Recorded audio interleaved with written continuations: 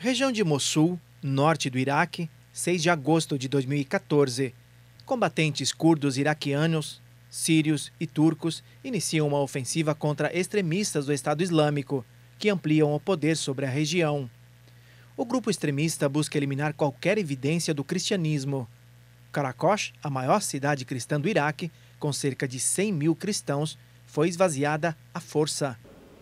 O que aconteceu naquele 6 de agosto de 2014 no Iraque, quando milhares de cristãos foram obrigados a ir para outros lugares, deu origem ao Dia de Oração pelos Cristãos Perseguidos.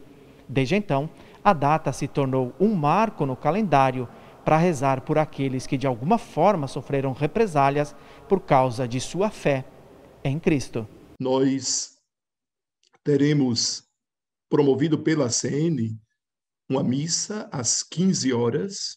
Esta missa vai ser transmitida desde a Basílica do Carmo do Recife, mas também às 18 horas teremos o terço, a oração do terço, onde vamos colocar os cristãos perseguidos em oração.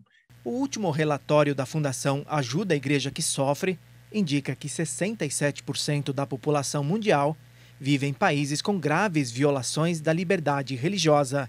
A situação preocupante se concentra na Ásia, África e Oriente Médio.